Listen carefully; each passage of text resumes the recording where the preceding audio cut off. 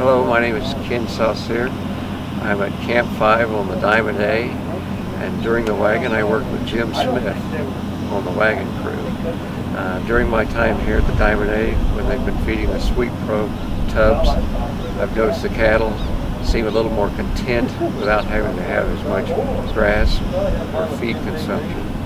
And then there have been less woody tongues and prolapse cows for me to doctor. Take me from when they first start their day. What preparation do they have in mind, and then what happens? Well, there's a variety of things that could happen, but uh, the first thing is that they got to have breakfast. Everybody works a lot better because it's hard to tell when when lunch is going to be rolling around.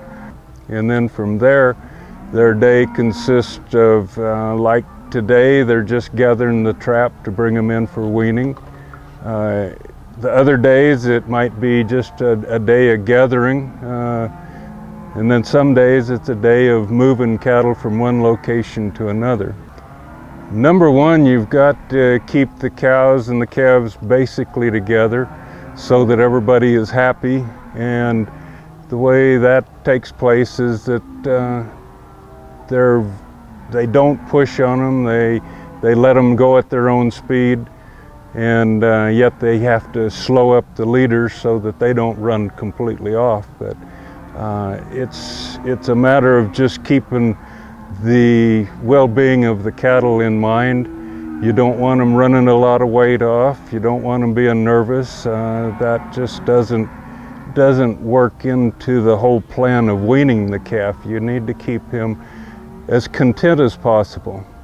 And that's, that's our main objective.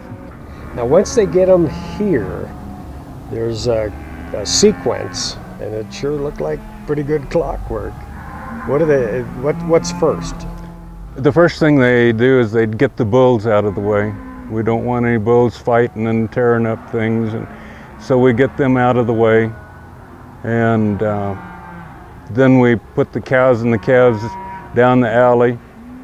We take the cows, strip the calves away from the cows. At the same time we do the sexing, we, we put the heifers in one pen, the steers in another pen, so they're ready to, to go to the scale that way. Now, in separating the bulls out, are you looking for anything in particular as far as condition or? Not at this point. Uh, we will, whenever we put the bulls away to the, their winter pasture. Before that, we'll process the bulls. We'll give them all their, their booster shots, uh, their pour on, and we'll look for any problems. We'll look for the age of the bull and, and we'll take them out at that point.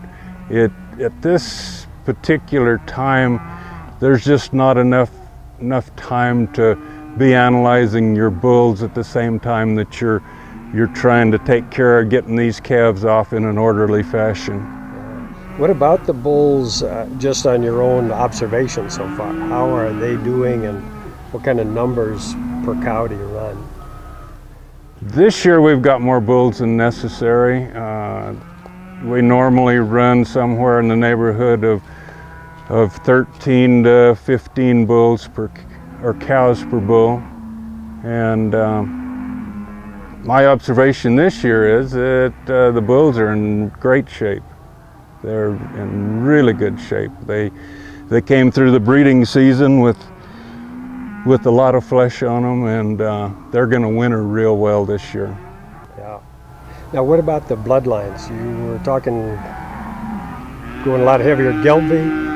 Last time we talked, what's happening? Uh, we we like composite type bulls, Angus and Gelbvieh in particular. We have some Angus and Braunvieh, and uh, we put those on our crossbred cows, and we come out with a very uniform kind of calves. As you can see in the in the background, they they turn out pretty nice. Yeah.